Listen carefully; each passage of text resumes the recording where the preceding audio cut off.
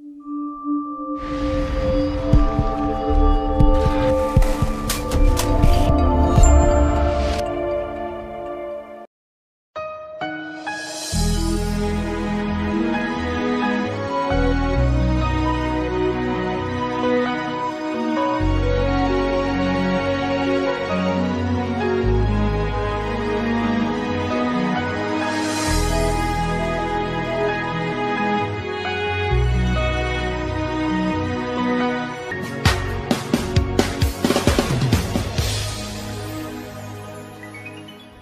Praise God.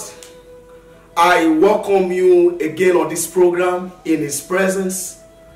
And I'm so confident today that God is going to open a new chapters to you and I again by His word on this platform in the name of Jesus Christ. Today, I want to speak with us on what I titled The Ark of God's Mercy. Hallelujah the ark of God's mercy. I want to begin today by saying that the presence of God is the ark of God's mercy. In other words, for you to get access to the mercy, the mercies of God, you must be a man and a woman that dwells in the presence of God. The Bible said in Hebrews chapter number 4 and verse number 16. He said, Let us therefore now come boldly to the throne of grace. Please mark that word. Come boldly to the throne of grace that we might obtain mercy and find grace to help in time of need. You see, I was thinking about that scripture and I realized that you can be in the place of grace and not be a partaker of grace. He said, Come boldly to the throne of grace and obtain mercy. Then you will find grace to help in time of need.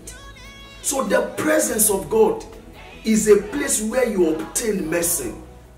And when you obtain mercy, grace becomes available to you. So the mercy of God is a thing that every believer need in his or her life.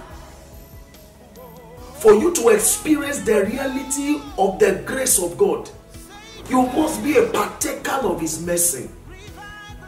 His mercy is that boundless patience, that boundless forbearance you see, grace sees you as sinful, grace sees you as guilty, but His mercy sees you as somebody that is miserable and needs help. Grace is what you don't deserve, you just get. God just let it go. But mercy is what avails you that grace that gives you what you don't deserve. That's why a man like David is a man we still celebrated today because he was a partaker of the grace and the mercies of God. So, mercy is what overrides judgment. Mercy is that thing that gives you what you don't deserve.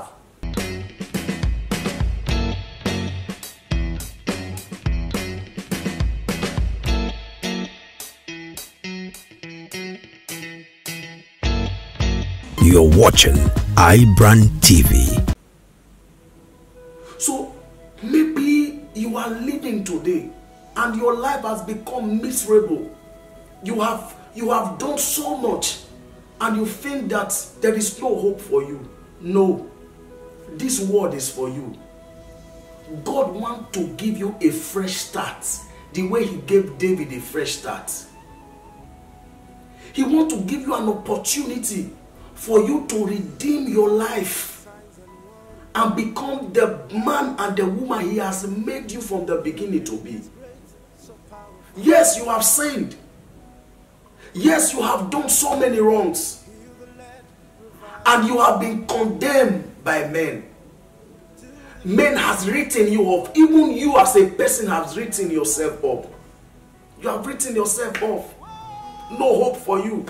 But mercy says there is still hope for you.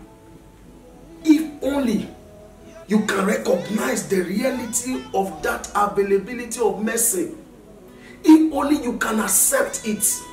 If only you can decide to walk in it, you will become a partaker of it. So I join you, I call you today to come to that place where God has prepared for you, that place of mercy. You know what the Bible said?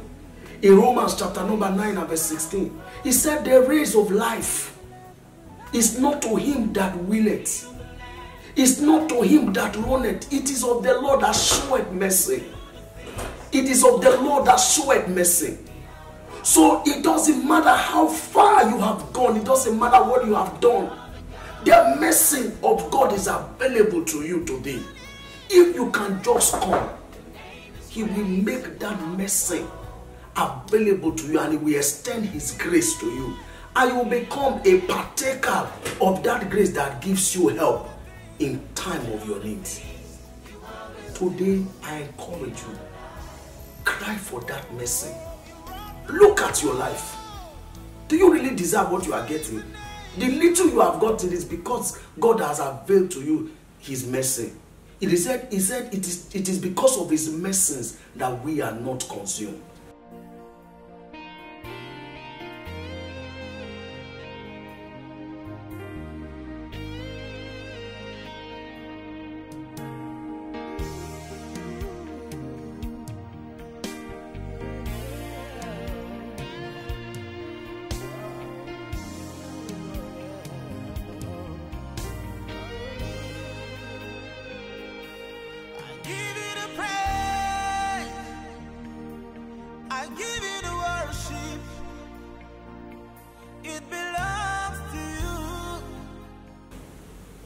I want you to begin to crave for it, long for it.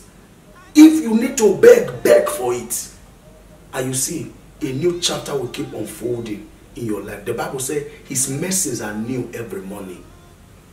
Hallelujah. Hallelujah. His mercies are new every morning. Praise God.